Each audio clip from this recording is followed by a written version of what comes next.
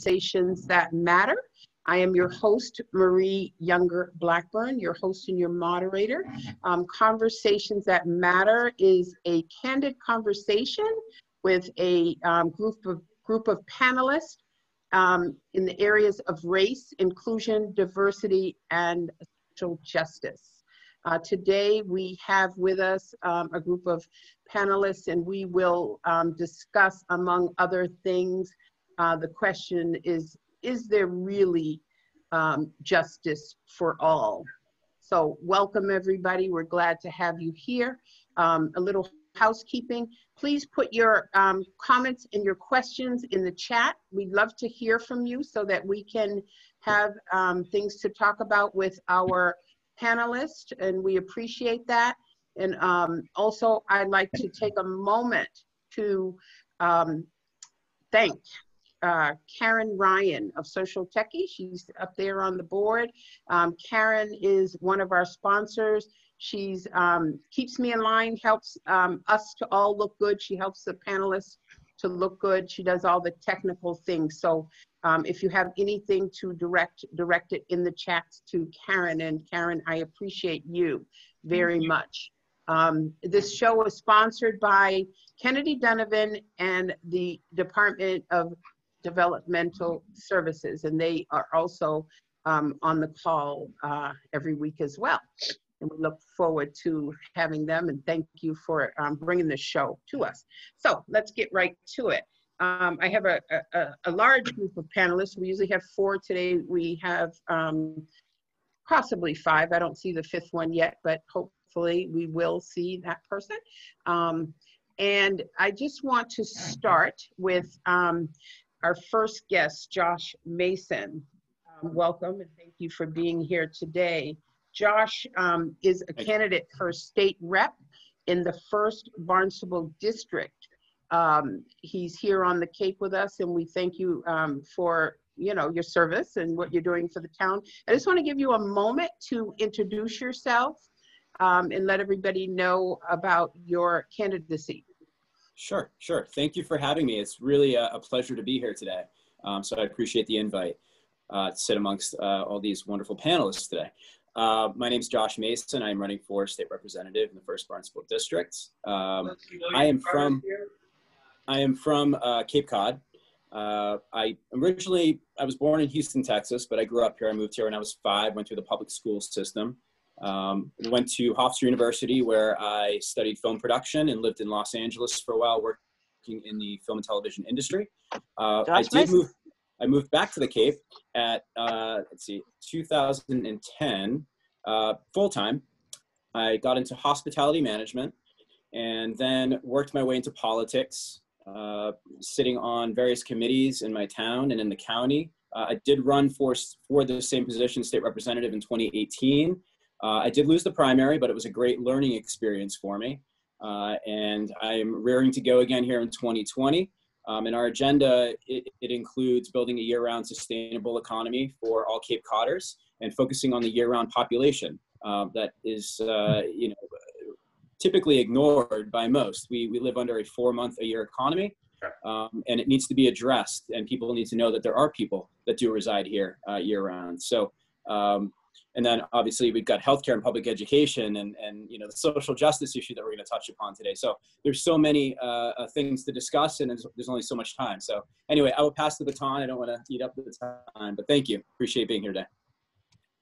I have a question for you. Um, your in your platform you say that you want to bring a new kind of politics um, one that brings us together behind shared interests and bold ideas and i just wanted to know if you can expound on that what that means sure. So um, politics obviously as we know it, it really it started in 2008 2009 the tea party movement. It was the sort of the anti-obama movement um, within the republican party which then eventually uh, morphed into trumpism.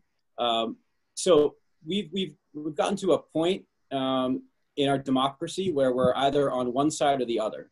So what I like to do is rather than say knocking on a door to introduce myself as a candidate, you know, you, you, a lot of people beg that question right out of the gate: Are you a or?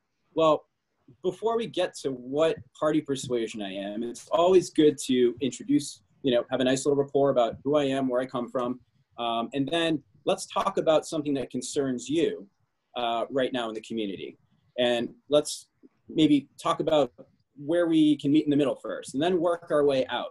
Um, I think too often uh, people start from one side and the other. It becomes a contentious argument out of the gate. Um, and then it's it, the conversation is literally in one ear and out the other. So I find it um, a better tactic to actually talk to people who have uh, commonalities uh, that they want to uh, discuss or something that concerns them, and that can typically spur conversation and even uh, delete the uh, "Are you a Democrat or Republican?" question altogether. Um, and uh, it, it's wonderful because we all realize that we're people who are struggling and fighting for the same things. Thank you, Josh. Mm -hmm. um, could you guys all mute yourselves unless um, you are uh, talking? And I'd just like to acknowledge a few people that have joined us. Um, I see Michael Messinas. Um, he was a past panelist. I see Ayana Parent and um, the Reverend Will Mebane. Um, I just want to acknowledge you all and don't be surprised if I call on you, and I hope that you are uh, willing to share if I do. Um, our next guest, we have Wayne Earl Shinnock. He is uh, the organizer of um, Black Lives Matter Sandwich. Um, it's a peaceful village that is held um, in Sandwich every Sunday evening. Um, and, you know, they have been kneeling in um, in protest and in solidarity, I suppose, um, in in honoring um, George Floyd and kneeling for eight minutes and 46 seconds. And I'm, I'm just intrigued. I don't know if anybody else is that, um, you know, we talked about on this show uh, a couple of weeks ago, one of our guests, um, attorney Bruce Burns, he talked about the need to amplify the movement to keep things going and not let it die down. And I'm just so impressed with Wayne, in your work that um, that no matter what, um, you keep going. So can you just tell us a little bit about your why? Yeah, the why is pretty simple. Um, I moved to Cape Cod two and a half years ago. Um, I've lived in seven countries and I've, I've traveled to 44 countries and I've been all over. And uh, Cape Cod is um, excessively Caucasian, um, which is not where I expected to raise my child, wasn't expected where I um, where I expected to live, um, and I want to make sure that I raise my child or children, if we have more, in a way that's more open minded. Um, and so we ended up going to a Black Lives Matter rally march uh, two and a half, three months ago in Falmouth, in which at the end, something like 250 people kneeled for eight minutes and 46 seconds. And it moved me. And I was like, okay, I'm going to do this every day for a week at some point during the day so that I experience what it is, let, let my brain go where it needs to go. And at the end of that week, I was like, you know what? I have to do something, no matter how small it is. And so I mm-hmm. came up with the idea of a vigil. And, you know, it's not a lot of people. I think the most we've had is 15 or 17 people. But we meet 15 minutes before dusk every Sunday and we kneel and then we list off another 10 names of Black lives that have been lost in America due to violence. So it's real simple. Mm-hmm that is so wonderful. You know, when I saw that you were doing that, um, and you are a white male, and and and I know Sandwich, right? I live in Mashpee. I've been on Cape for 30 some odd years, and know Sandwich um, and its whiteness and its climate.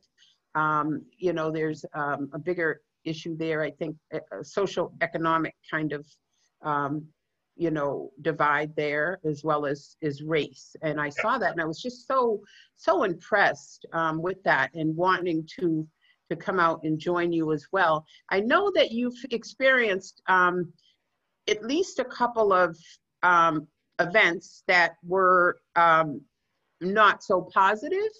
And i'm yeah. just wondering if you'd like to just give us a little background on that well, really, there was only there was only one event in which we had um, a gentleman drive by and, and use the N word very loudly out the door and, and some curse words along with that.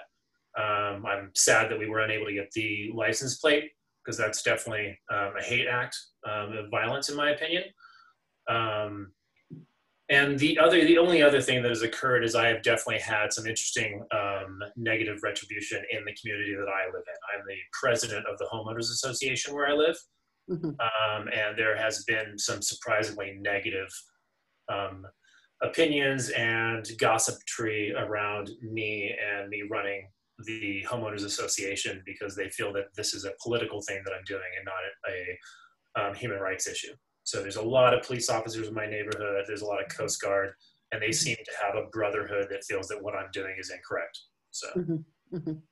Yeah, um, I can see where that can be a problem. That's why I was so um, intrigued by what you do. It takes a certain amount of bravery to stand up to what you believe in and what you feel is right. And I saw that you did a family trip recently, and, and your daughter brought her portable Black Lives Matter sign. She does. She has her little. I have a four and a half year old daughter, and she has her little um, animals and and stuffed animals. And she was like, "I want to. I know this Black Lives Matter vigil is, you know, after I go to bed." Mm-hmm. but you know as soon as it's not i want to join it and so she really wanted to make a sign and she acts like she has a vigil with her her little animals which is pretty fantastic mm-hmm. that's perfect someone is asking in the chats um, when do you meet again and uh, what is your location? So really easy it's the sandwich public library. Mm-hmm. um, and it's every sunday 15 minutes before dusk. So you can look that up or you can like this sunday it's at 6 p.m and then next sunday it's at 5.50 and then it's at um, 5.40 uh, mm-hmm. so it changes to be 15 minutes before dusk so that we kneel at dusk every sunday. Perfect. And there's um, one more question. Um, do you feel safe in what you're doing um, thus far i would say that yeah we feel safe um, i am definitely aware um, and a little more worried since that one incident two weeks ago, somebody driving by. Um, mm-hmm. To I kind of keep my eyes open a little bit more. But when we're kneeling, we've all got our head down and we're in our own zone, doing our own thing. And if something happens, then that's that's I think the reality of it, and we're persevering with what we're doing. So. So I just want to ask our panelists um, individually, um, maybe a couple of you, uh, when you hear Black Lives Matter, what that means to you um, as a as a, a concept, Black Lives Matter, My Life Matters, or as a movement. Um, when you hear that, what does that mean to you? Um, I'm going to go to you first, Jim. Okay. Um, Black Lives Matter to me, it should be an appendage to it that, that says also or to you know, because I'm a firm believer that all lives matter. But over the, the recent history here in, in America, in relationship to the police and, and unarmed black people, it seems that there has been a, lessening of the value of life of black people in particular. So I think that it, it, it, it the, the concept of Black Lives Matter throws some spotlight on that particular issue, but it's so broad in that it should be all inclusive that all lives matter, but blacks have seemed to have been relegated to a less than important value of life to the general society. You know, it, it's almost as if if we don't have an incident like the George Floyd incident, which was so obviously and brazenly uh, uh, a disregard for Black human life. If we don't have that, it's almost as if people don't believe that there's an issue. Mm-hmm. You know, it, it's as if that could not happen uh, uh, here in America. That could not happen here in Falmouth. That could not happen here in Massachusetts. But the truth is that if we don't take the bullhorn and, and, and have the, uh, the, the, the, video cameras to have evidence of this, then it goes by the wayside. So the whole Black Lives Matter uh, concept of be raising the issue was, I think, so very important to just raise the awareness of everybody that all lives matter, not just Black lives, but that all lives matter, and we be, need to be included in that conversation. Thank you, Jim. Reverend, do you mind if I ask you the same question? Um, you have your little T-shirt hanging up in the background. Um, I, I'd like to ask you, when you hear Black Lives Matter, what does that mean to you? Uh, well, first of all, thank you for the opportunity to be with you again, Marie, and uh, hello to all the, the panelists today. Um, BLM for me is about trying to once and for all eliminate what has occurred in this country since its inception, which is to see other human beings through the lens of race. Uh, so I have a little diff different opinion on this from uh, Jim, who just spoke. Um, we are promoting the fact that Black Lives Matter because, and I liken it to this: if you uh, if you live in a community and you have a, a house and uh, your house is on fire, uh, and you call your local fire department, uh, in that particular moment, your house matters more than all the other houses in your community because your house is on fire. Or if you go into a uh, emergency room in a hospital and uh, you're there because uh, you have sprained your ankle playing basketball or soccer or something, and someone else comes into the emergency room and they are bleeding profusely from an automobile accident or some other trauma, uh, guess whose life matters more in that moment? Uh, you would be very upset if the attention was given to the person with the sprained ankle and not given to you if you happen to be the one who was having a traumatic experience. So that for me is what the BLM, what the Black Lives Matter movement is all about. Is trying to focus attention on the fact that, yes, as a person of the cloth, as a priest in the Episcopal Church, I know that all of God's creatures, all of God's creation matters.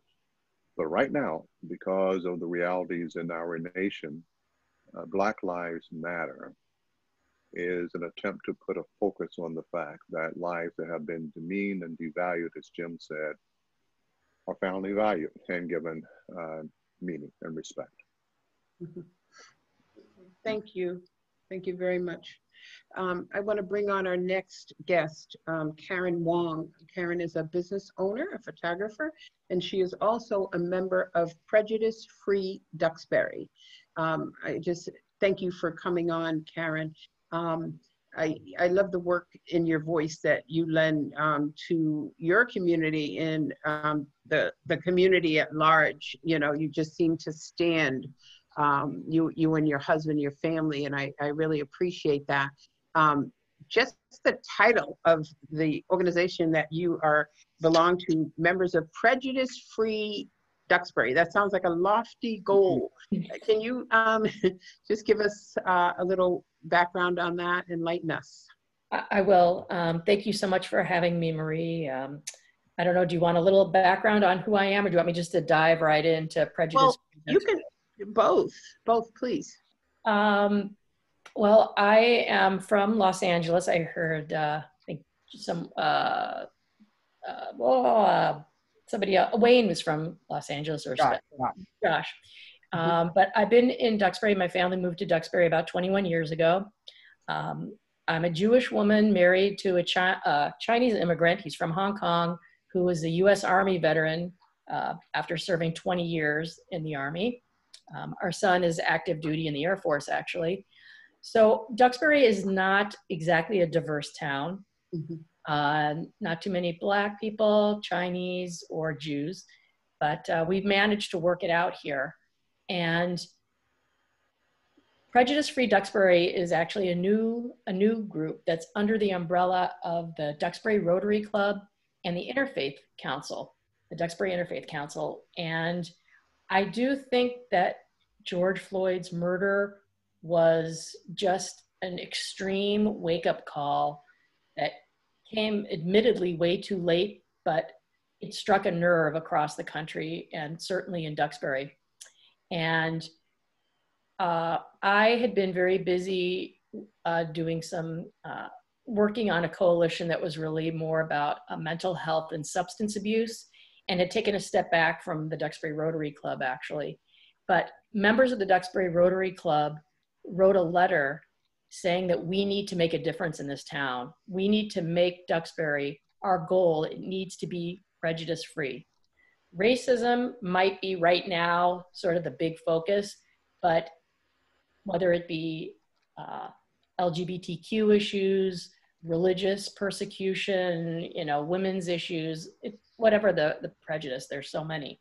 Um, and so I came to them right when I saw that and said, yes, I wanted to organize uh, some kind of a rally in town. I thought it would be really important to get the whole community together in a peaceful way to try to, you know, tackle these issues. And so, kind of a long story short, we reached out to the Interfaith Council and combine.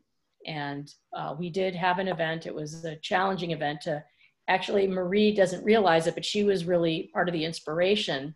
Uh, I kept seeing, listen to my stories. And I thought that's what we need to hear because there are, even though it's a predominantly white town, there are people of color here who've experienced a lot. And I think for many more what we would think progressive white people, not really realizing what it is to be in those shoes. I, you know, have been married to my husband for 30 years, and I can tell you the racism against Chinese people since 2016 has been just un- unexpectedly harsh. Mm-hmm.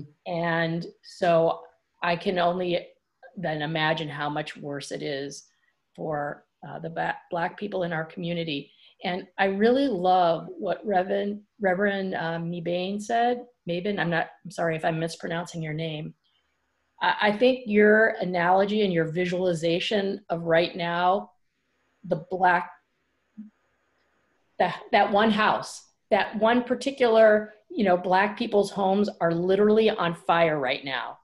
That's not to say that other people's houses don't matter, but we really need to direct attention um, in that direction. Mm-hmm. And um, I'm really excited to be part of this organization, um, this group, uh, and it's it's a very big cross section. Our first event, which ended up being virtual, had leaders from the business community. The police chief spoke. Mm-hmm. Interfaith. We had a number of people just tell their personal stories. Sadly, um, a number of people said they wanted to tell their stories, but they're not ready. And you can't push. You just, it's going to be a slow process. We're just trying to reach out to whether it be the library, the senior center, the Duxbury Rural and Historical Society, all coming together to do different programming. We, we realize this is, this is a long, it's a marathon. It's not a sprint and it's going to take years to get there, but we're committed to moving in that direction. Mm-hmm. Thank you, Karen. Thanks for sharing. Um, and thank you. I'm glad to know that I had a little bit of inspiration. Um, I think we're all an inspiration to each other, and that's why we bring this platform together to share information um, and resources and to have the conversation. Um, Josh, I just want to direct a question to you. In this climate, um, where we hear Black Lives Matter and we hear Blue Lives Matter. I know the question on this show week after week, and we haven't had anyone to answer that question, but um, the message of blue lives mattering you know people want to know what what is a blue life and what does that mean um, to people i see you have some certification in citizen police um, you know in, in, in on cape cod and also when you have to, when you talk about um, serving and you know for all right and in bringing some unity around um, the issues that you have to confront how do you manage even in the time of your in your candidacy um, those two different concepts you know blue life matter black life matter the tribalism that that happens? How do, how do you manage that? So um, yeah, so uh, I work in sort of an auxiliary, uh, I guess, uh, aspect, if you will, with respect to the police. Um, I, I, did the Community Citizens Police Academy uh, about a year and a half ago, and then uh, just to be more in touch with what they do and, and the inner workings and operational stuff uh, within the police force, and also building those relationships a little bit more. Um, but what it led to was working on the crisis intervention team, which deals with substance use and mental health in the community. And I'm so, so glad that our department, it's really a model department, actually has a program like that um, to provide to the community. And they really emphasize uh, community policing, which I think is a really important aspect to solving this crisis that is the BLM movement. Um, you know, I don't see as much division and, um, I guess, racial injustice, if you will, in my town. Um, not to say that it's not throughout the community, but at least in the town of Dennis, where I reside, the, the police department here does a pretty good job. Um, but with respect to the whole Blue Lives, Black Lives question, uh, you know, being a police officer is a job. It's a job that you have chosen to take upon yourself. And, and um, I appreciate, and I know we all appreciate um, our officers heroically putting their lives on the line day in and day out for us to protect us and to serve us.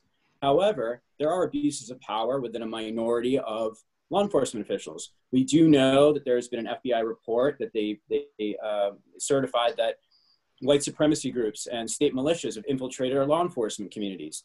Um, that changes sort of the philosophy and the ideology from within. That's dangerous because you know it's really the white supremacy groups that are even more dangerous than the ISIS or the radical uh, Islamic groups, uh, terrorist groups that are out there, um, because it's a it's a cancer from within, and it's it, it's it's almost like a, a cult, if you will, uh, a cult against cu- a culture, if you will. Um, but we can't really you can't really uh, compare a job to um, a lot, I, I, guess, a racial identity, because a racial identity is not a choice. A job is a choice.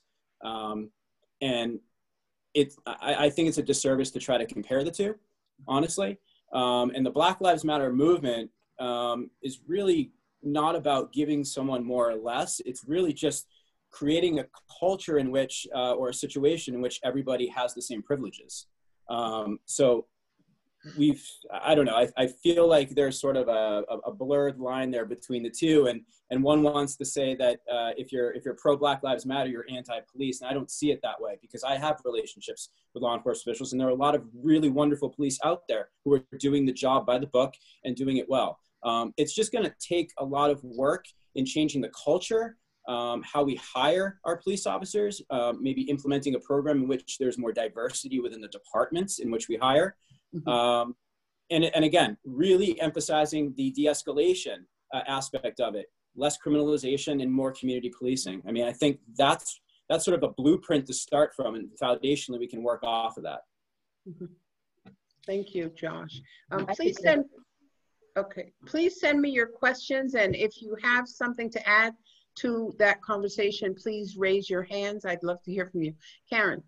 Yeah, I have a, a question. Um, I could use some help on right now. I'm going to stay very calm. I, am usually really good about staying calm, but uh, my hackles have really gotten up lately. Um, I spoke very briefly. I just met Josh a couple minutes before this session started, and I'm actually working as a volunteer on a campaign for our current state rep, uh, Josh Cutler in the Plymouth 6th District, um, who's been very popular. Uh, he's a Democrat. He's been very bipartisan.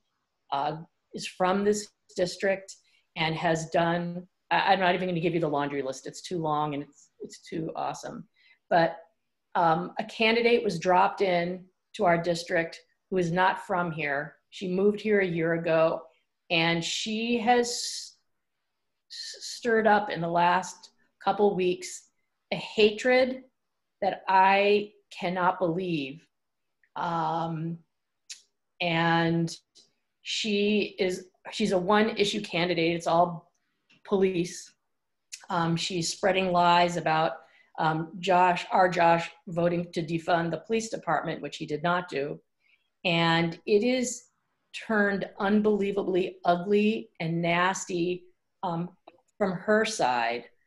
And a, lot of things have been dug up about her, her past, uh, which are very ugly and how we had with prejudice free duxbury one of the things that was important to us when we started this group which was before uh, this opponent came into town was to really have, we felt that we wanted to be with the police. We wanted the police on our side so we could work together as a community because Black Lives Matter, police life, all, all lives do matter, but Black lives matter. You know, Black lives matter, and we needed the police to be on board with that. And we seem to be moving in the right direction um, with the police chief, who's a new chief. But um, the police union just endorsed Josh's opponent. Mm-hmm. And it is causing so much ugliness. And I want to be open, and the police chief may have like tried to get his officers not to go that way and stay neutral, but they did what they did. Mm-hmm. And I'm having a really hard time reconciling this. Um, and I admire our candidate. He he wants to stay above the fray. He's not he's not going there. He's got some great endorsements, but how how do we manage this going forward? Because I want to be able to work with the police and the community, but right now it's very hard, hard to, to have this trust. So um, I'm going to, are you talking to Josh or are you just asking generally? I'm asking um, generally like how, like we need to oh. heal, you know, at the, after this election, we have to live together in these towns. And I think it's important. We need, we're not going to ever get where we want to go mm-hmm. if we stay divided in our silos. So I'm going to answer first, even though I'm the moderator. And my answer would be you have conversations that matter you know you you you keep the conversation alive and and jim i want to you you're raising your hand yes, i, I want to yeah. just weigh in on that uh, mm-hmm.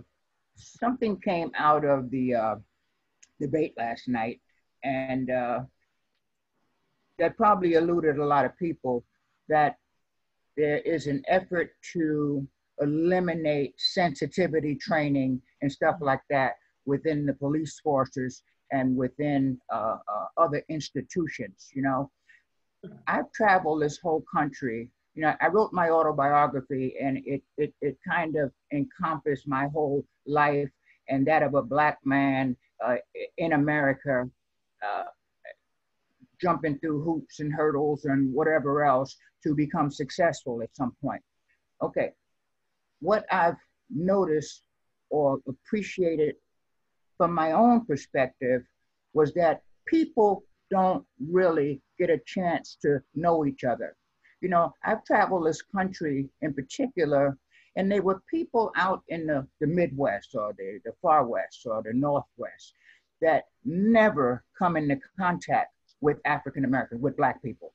You know, so they have no idea whatsoever about the sensibilities, about the frustrations, about what it means to live life in America as a minority individual, especially a, a Black person. Over the course of the time that I've been here in Massachusetts, since let's say the turn of the century, I've noticed that there have been some very positive groups that have propped up no Place for Hate, eventually Black Lives Matter, uh, your program, let's, let's have a, uh, let me tell you my story. These are opportunities to get some sensitivity about how other people not like yourself are grappling with problems and issues and what's their perspective. Most people don't have a clue what Black Lives Matter means to Black people. You're seeing it from the perspective of uh, it's, it's something radical. It's a, a, a departure from uh, uh, being peaceful. Uh, it's a, a demanding kind of situation. When in reality, if we become part of some all inclusive kind of group like No Place for Hate or like you're trying to do in, in Duxbury, uh, if we become a part of that, we get a chance to see and walk in somebody else's shoes. And then we can have a, a better appreciation for what it takes for the whole community to come together. I believe, in, in regard to the police, that the police should live in close proximity to the places that they police. You know, I think that there should be a sensitivity about the inhabitants of the community in which they police. Uh, that that's a step in the right direction. Uh, I'm hoping that people like Josh, people who are uh, actively engaged in trying to change the political landscape, are more in tune with sensitivity and and the whole idea that everybody's sensitivity awareness needs to be raised. Black people are just as confused and, and uh, about white people as white people are about black people. Until a conversation gets started, until we can actually interact from a, a, a safe and sane perspective, nothing is going to be accomplished. You know, so sensitivity and sensitivity training and, and, and awareness, I think are critical in how we go forward. Thank you, Jim. I forgot to mention that Jim is um, an author. He has a book, a great book, his autobiography. It is called um, Metamorphosis in Black. And I just encourage you, if you'd like a copy, just contact Jim or myself and we can make sure you have one. Um, there are some really powerful voices on this call who aren't part of our panelists. And I'd love for you to share, if I ask um, that of you, if you feel comfortable. Um, uh, if not, that's okay too. But I, I just appreciate you guys coming back, Jessica, Ayana, Francis, Michael, um, and others that, you know, come in here to um, support us. Um, this show was entitled is it really justice for all and what was heavy on my mind and the mind of people who contacted me um, this particular week was the breonna taylor um, verdict if you will you know the the you know the um, attorney general coming on and, and giving us the outcome of that case um, it was really for me anticlimactic um, and it there were some things about what he said um, that really um, hit me to a point where I couldn't breathe. I, I couldn't talk for a while and I, I really shed a tear, very rarely. And I did. I couldn't look at my son for a good hour when he came in from school. Um, you know, I call it trauma, just repeatedly being traumatized um, as, a, as a Black person, a Black woman in particular, who um, has raised Black sons, that um, it, I would never utter the words, my life does not matter. However, I heard a lot of people saying, I guess my life doesn't matter you know, particularly young, you know, posting on Facebook or saying, um, because that's what that sentence said to them. It, it was really traumatic. Um, Ayana, I know you're driving, but can you share your, can you share it all, your expertise um, around the area of trauma? Have you seen more people reach out to you? Um, Hi, can you hear me? I can hear you very well. Oh, okay, good.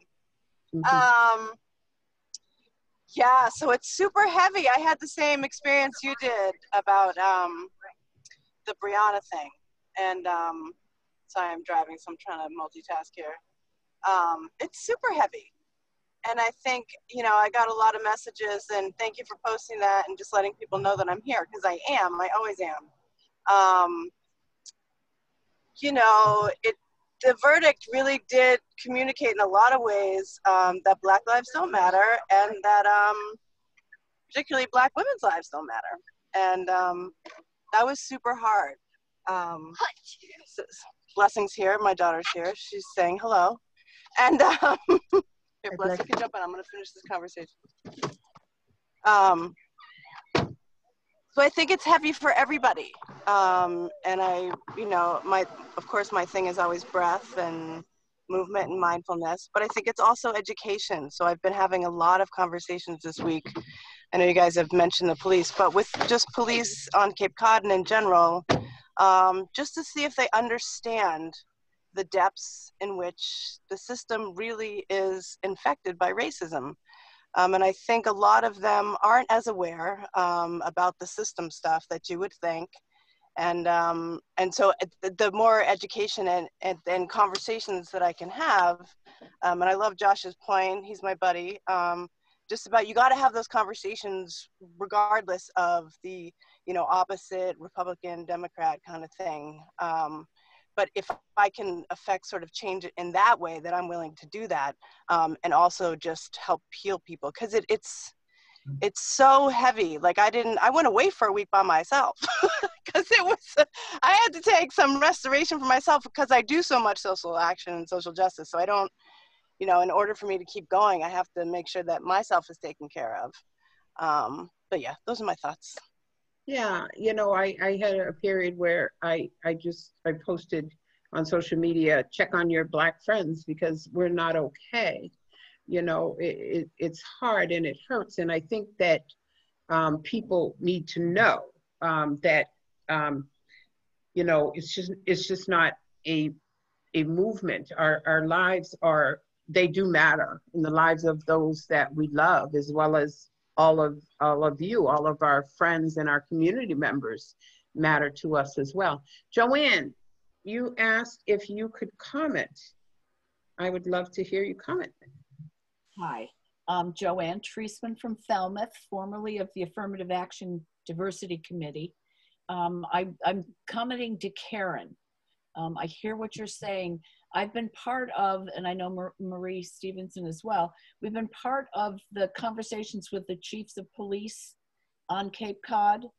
Um, and one of the things that keeps coming up, and I think it's very powerful, is to consider pushing for community um, review boards over the police so that the so that the community has some input. Yes the union is there. Yes the union is strong and again, if you've got union members that are moving in one direction and they're not to be moved otherwise, or they're influencing the the members, you, you know, you what can you do? But if you have a community review board, it can at least be a place where there can be conversation with ordinary citizens and the ordinary patrol people. Get out of the hierarchy of who's making decisions about what. So that was the comment I wanted to make. I think that is something that all of our communities should start to think about doing, making sure that there's oversight, um, that there's communication. Mm-hmm. May I respond to that? Sure, sure. Um, thank you, Joanne. Um, interesting that you mentioned that because what really started this firestorm was uh, there was some recent police reform that was voted on at the State House. And that there is a part, and I can't give you the exact name, but it basically is having oversight. And that is what set the police off on this tan on this tear. They, they, they like to call it defunding. It's not defunding. But what they really don't want is any outside oversight. Right. So respectfully, the last thing I would do is say that our community should do that. But what I'm wondering is what Josh Mason mentioned that was very scary earlier in this conversation, which is that some maybe agitator white supremacy type of groups are trying to infiltrate the, the police department because that is I that actually kind of scares me. And I think maybe there might be a little part of that going on here so circling back to what everybody else was was recommending, which is more conversations, which is normally my nature. I'm just really I'm really angry and I'm I'm hurt. I feel like my back was stabbed by this vote. Um, maybe it's not the ch- chief that we need to talk to. It's having the conversation with the rank and file police officers and having them get to know us. Not so much, not in that the way like we're going to be reviewing you, but let's get to know each other mm-hmm. a little better. And maybe we can relationship out some of those um, white supremacy tendencies. I mean i know that's like pie in the sky. And i the reason why i've taken it so personally is uh, as part of duxbury facts which is an anti-addiction and mental health coalition that i was a founding member of we spent a lot of time working with the police department, and we have a crisis intervention team that has now integrated the whole Plymouth County, and it's amazing. And I'm psyched to hear that you're doing it on the Cape too. I, I don't mean to take up too much time. So I like Joanne's idea. I think the conversation is good, but in a less threatening, not oversighty way at this I think I think we all can agree that um, conversation, right? When we share um, our thoughts, right, in a in a non-threatening way, that we um, agree on some some ground rules, unlike last night's debate, that we agree to disagree, we agree to share our truths, we agree to share um, some information because that's important. the conversation should be some information, some facts, some things that people can read um, to learn more. Um, our friend Jessica Ellis Wilson, who um, has been on our panel in the past, uh, she does some work around anti-bias. She shared that conversations are so key. Uncomfortable conversations are where the seeds of growth happen. And, and I agree. Um, we have someone who's not muted, I think. Yeah, so um, uncomfortable conversations are where the seeds of growth happen. And, and, and that is true. Sometimes we have to call upon those people in our community that um, may disagree with us and ask, can I talk to you? I know I've had, um, and I will have more, several conversations with police chiefs across um, the Cape. I spent a lot of time creating um, relationships with police officers well before um, some of these things were amplified. So I, I'm able to pick up the phone and or them to me um, to have conversations. And and that's important. I just want to introduce um, our last panelist. Um, she she logged on. She had some uh, meetings. And um, her name is jamila um, carter. Uh, full disclosure she is my sister and she is um, an administrator and director of preschool at Jubilee Christian uh, School. It's a private school of predominantly African American children in um, Philadelphia. Um, so I, I want to switch over to the debates, and we have, um, you know, 10, 15 minutes or so. I, I do book the show to 5.15 to be safe, just so you know. And um, I just want to switch over to the debates last night, the elephant in the room, because we didn't spend any time talking about it. Um, before we logged on, we had a brief conversation. And one of the things we talked about is children were watching. And Jamila is an educator, she educates children um, up until I believe fifth or sixth grade. And she has, she's a mom of teenage um, and a college student. Um, and you know, what do you say to children in this climate, Jamila? Particularly if they were watching last night. Um, uh, you know what? Uh, thanks for having me, and hello, everyone. Mm-hmm.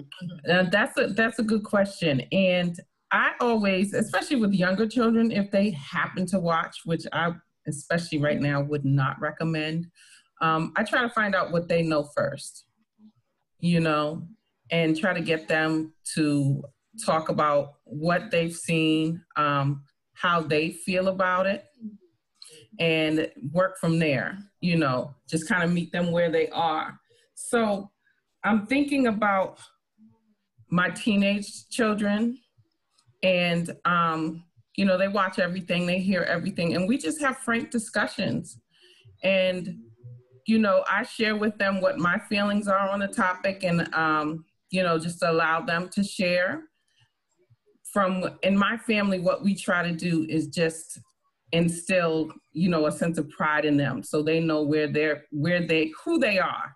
So when they see these things that are ugly and can be traumatic, they're, they're pretty, they're insulated, you know, they're, they're strong. They understand what's going on. They understand that there are people in the world who just don't have, um, don't approach situations with empathy, you know, that see, don't see the humanity in everyone. And we talk about that. We just talk about feelings. We talk about how things can be traumatic. And we just work from a place of healing. Thank you, Jamila. Thank you for sharing.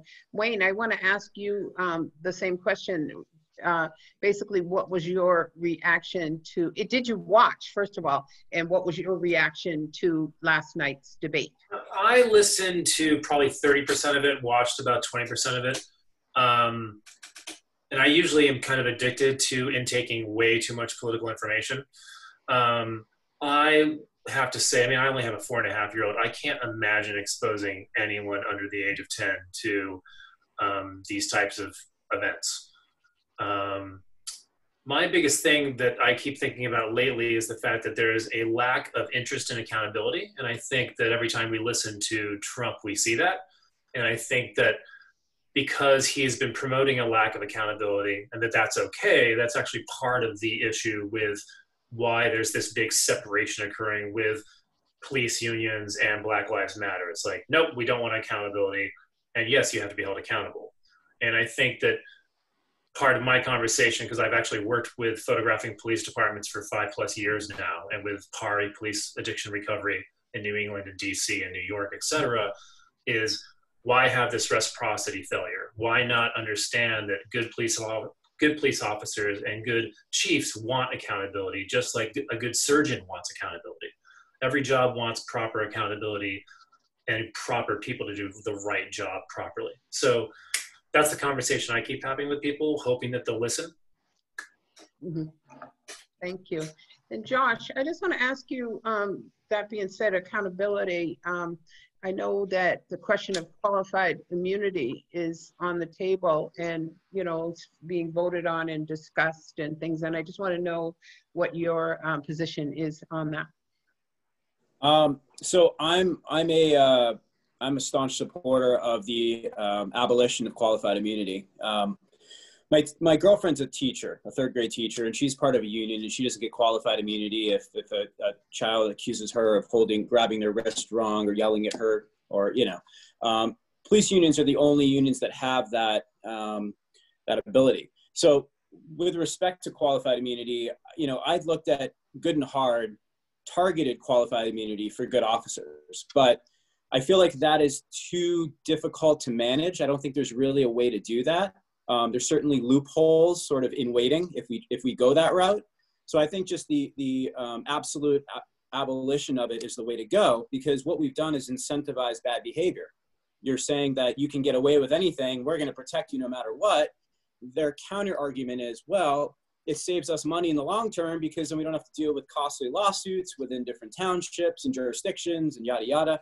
Um, I think if we do away with it altogether, um, our law enforcement officials should be held uh, accountable um, the same way that anyone else is. Um, and they should not have uh, absolution in power uh, to be able to get away with or do uh, whatever they choose.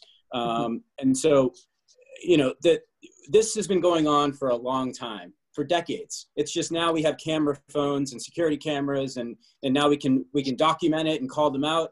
I mean, there, there, there's journalists on TV that get pushed to the ground and police lie and say, "Oh, it didn't happen." It's like, well, we just we got it on film. It's right here. Um, mm-hmm. so this is this is a, a taught behavior, a learned behavior, and something that has become enmeshed in the police culture, unfortunately. And mm-hmm. again, it's a minority of officers uh, that are sort of um, stoked under this this this guise of bad behavior, if you will. Um, I think the majority of them are good officers and are doing the right thing, but we you know you don't want the, the, the minority to ruin it for everyone and, uh, and personally, I think uh, accountability is extremely important. We have Josh's. Um... Important when you give someone a gun and a badge and the power of the law at times. Mm-hmm. Um, mm-hmm. So, so yeah, I, I, think we need to strip that. Uh, you know, the, the qualified immunity absolutely needs to go away. Mm-hmm. And last night during the debates, debates, there was some really, you know, heavy things said. Um, one thing that um, Trump said was all the police are backing me. You know, true or not, he made that statement loud and clear. And um, that being said, um, I, I just want to know if anybody has any thoughts on or or how they felt if they heard that. Um, what what did that say to you? Um, Reverend Mebane, do you want to talk about that? If did you see the debates at all? I watched the um, first 16, 17 minutes of it, and then I had to leave the room. Mm-hmm. Uh, came back a few minutes later, and and I watched for 10 minutes or so, and I had to leave the room. And then finally, I just gave up, and uh, I thought it was uh, an embarrassment for the nation, for the office of the presidency, uh, for human beings. Mm-hmm.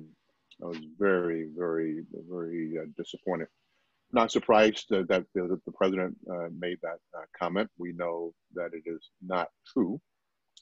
I work with police officers, uh, have worked with police officers who uh, would not, who do not support uh, his policies and do not support him. Um, but I do want to say, in response to your question, Marie, about is there justice for all, which relates to policing, the the answer to that is absolutely not.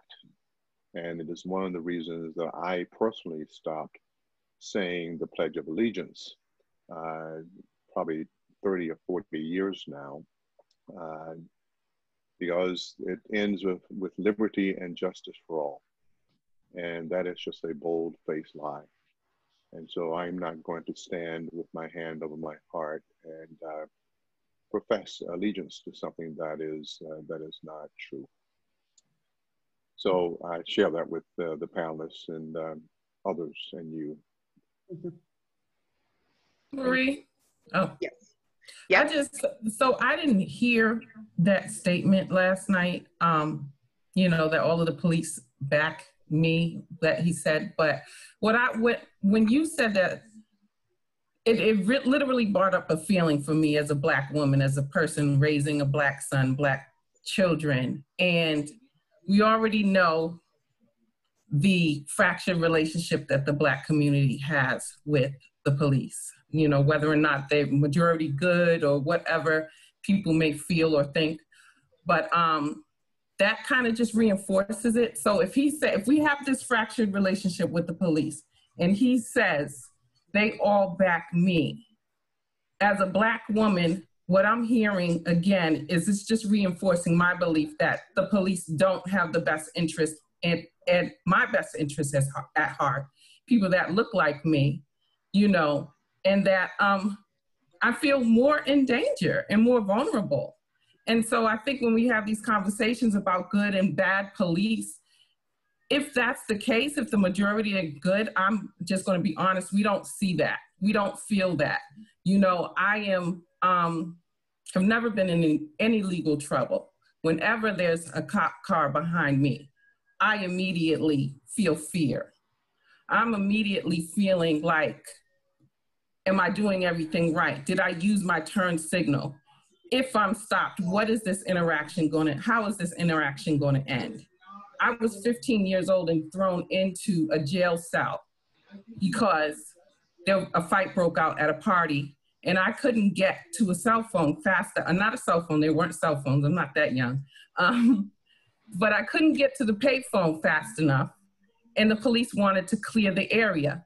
We were teenagers with no way to get home. We were in the suburbs, we lived in Boston, we didn't have rides, our parents brought us. And so their answer to that was to call the police department, to call the fire department, to bring to bring police dogs, you know, so these these are real things that we've gone through. And I think, you know, we just really have to be honest. And I and one of the things that I'm always asking for from people, white people, is empathy. You may not have been through it. You don't have to, you know, walk in my shoes, but we're just asking for a little bit of empathy. And that's all I'm going to say about that. I, I agree with you 100%, Jamila. I, when I heard that last night, I literally felt terrified for every black person in, in this country. It was, it was scary as heck that. And of course, the call to arms for white supremacists. Um, I, I, just wanted to kind of reiterate, there was a comment that Jessica made, um, who's here, you know, about saying that, yeah, if good cops just stay quiet, even if they're if they're in the majority but they stay quiet, they're they're just as much part of the problem. So I just I agree. I'm not sure which one of you is Jennifer, but I thought that was a really good comment.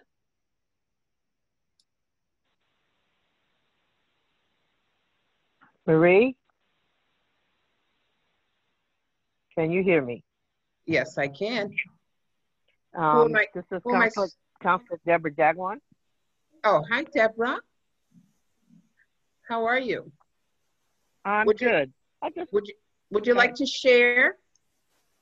Yes. Can you introduce yourself in your title and um, then feel free? Uh, yes, my name is Deborah Dagwan, and I'm a uh, Barnstable Town Councilor, and I represent Precinct 8 here um, in, Bar- in the town of Barnstable.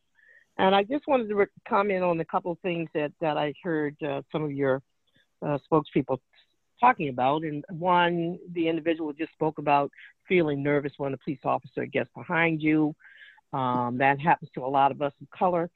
Um, also, the individual that uh, spoke about uh, the good cops being quiet.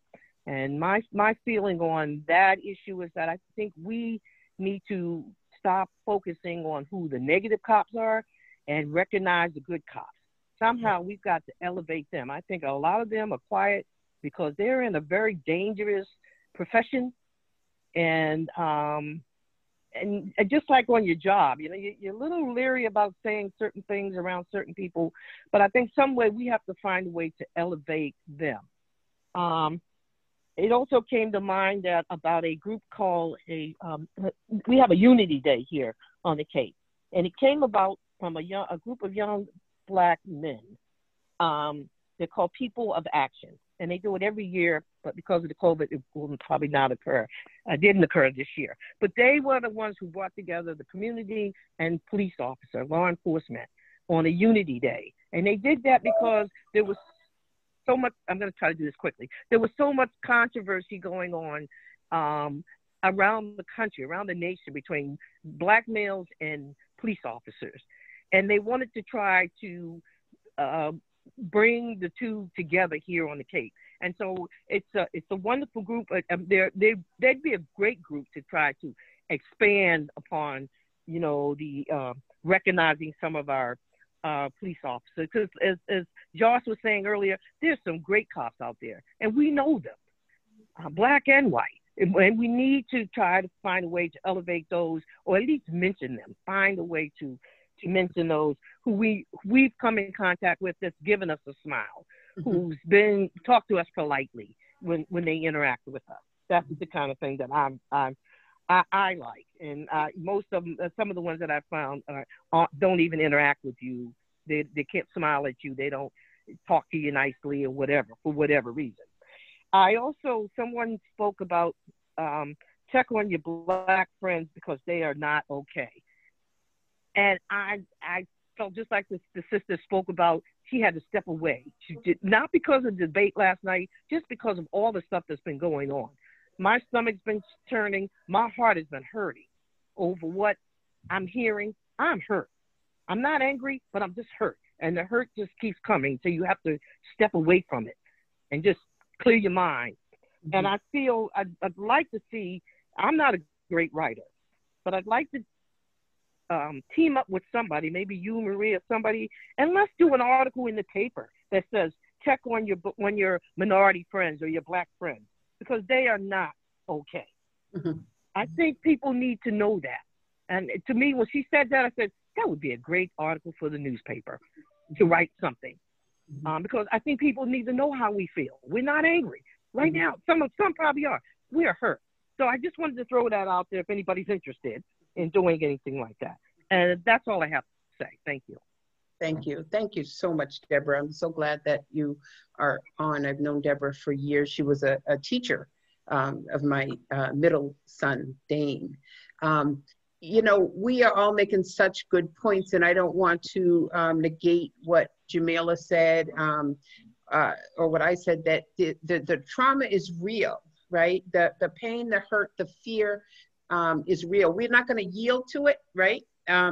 But it but it is real and it needs to be acknowledged. Um, Wayne says in our chats that it will be very difficult to elevate good police officers when we still have such a strong brotherhood of officers, basically a fraternity that enforces togetherness and self protection in general over the true good and society um, and the community they serve.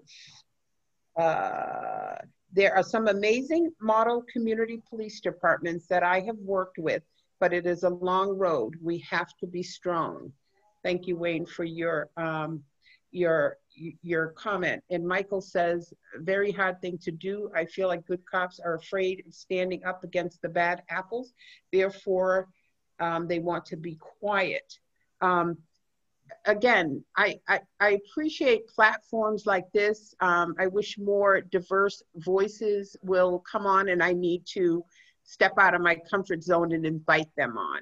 Um, you know, we, we're having a conversation, we're not having a debate, and I think sometimes people feel um, that they will be challenged or attacked. And like Jessica said, sometimes it is a hard conversation to get to um, the common good to get some work done. So it, it's worth giving a try. I, I, will do that and, and try to get some more um, diverse voices, particularly um, police officers. My, my husband is um, a former police officer and sheriff's department, um, department um, guard, so to speak, whatever you call them. and also my father-in-law was uh, a Boston police officer for 18 years. So, you know, and we are a um, multiracial family. So, you know, we have these conversations in our own home and they're not easy, right? This climate has has caused some um, division, particularly from my end, because I come from a place of hurt, right? And and sometimes he just doesn't see it or get it, and I expect a certain reaction. So I think that um, we should continue to have these conversations, continue to bring our questions to the table, to continue to invite our friends to the conversations, and continue to validate each other's thoughts and have some empathy for it. Jamila, can you just close us out with um, a story that you told me earlier about um, a little bit of equity and justice? That you were giving me an example of uh, a child who was a, a really good example of um, showing um, some justice.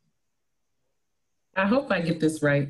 Um, and this story, I, I, I, heard the story on NPR, This American Life, and it was a, a comedian, a black comedian who was just, it was an anecdote about something he had been through as a child. And he was um, around 12 years old in middle school. And there was a favorite teacher who had, they called it a bank, and it was just play money that the children could earn to um, buy trinkets, um, you know, candy, pencils, whatever. So they got these these this play money for good deeds or for good grades or what have you. So he had figured out that um, that children that were in her homeroom were raking in the dough basically and he only had one class with her. He had a math, class. So he's looking around like my pockets are flat, but everybody else, you know, they're they're balling. They're making a whole lot of money, and you know, this just isn't fair because they had more time with this teacher, so they were able to earn more money. So he goes to the teacher and he says, you know, um, this isn't fair. Basically, these children, and he did, what didn't use this terminology, but they're, they're privileged. They have more time with you. So the teacher's response was, work harder. You know, um, if you want to make more money, you have to do better. You have to be better than them. And, you know, he just was like, this is, imp- it's impossible. The, you know, that it's just not equitable. So he went to his last resort, which was to 12 year old him rob the bank. So he basically go climbs in a window, robs the bank, and then he gets um, found out. He gets punished. But the result of that was the teacher finally listened. She said, Hey, you know, this wasn't fair. And so she leveled the playing field. She said, you know, the only way you can earn this money is if you're in during the math hour, regardless of whether you're in my homeroom or not. So I just that that story really stuck with me because I think it's sometimes hard for people to understand this systemic racism or this lack of a level playing field. And this was just clear. It was plain as day. And so it just um it's just something I think that especially as a black woman you know we I've, I've heard it over and over again. You have to be three times better than everyone else to be where they are. And that's just simply not fair. And so another thing that stuck out about the story was the children who were the privileged children they were not happy that the, the playing field had been leveled. They were irate and they couldn't understand. But one of the things that um, you know i thought about again we come back to empathy they hadn't been in the other children's shoes, so they couldn't empathize. And no one who has privilege and has, you know, um, a leg up wants to share. A lot of people don't want to share that. They don't want to give that up. That feels threatening. So I just thought that was just a powerful story. And it was really parallel to some of what we see in America right now. And I just think it, it can explain a lot to people who may not understand. Thank you, Jamila. I, I, have a saying, I always say power and privilege is a cunning thing, you know, um, nobody wants to yield that. I wanna thank our um, panelists today and invite you to join us again sometimes. I wanna thank Josh Mason. He is the candidate for um, first candidate for um, state representative in the first Barnstable district. I want to thank Karen Wong, who belongs to a group called um, prejudice uh, Duxbury. Pre let me see. I don't have anything. Um, Karen, prejudice you can. free Duxbury. prejudice free. Okay, lofty goal. Prejudice free Duxbury. I want to thank Wayne Shinock, and he is the um, founder, I guess, and coordinator of the Black Lives Matter um, vigil, peaceful vigil every uh, Sunday evening in Sandwich. And you can join him and in front of the library and they kneel for eight minutes and 46 seconds.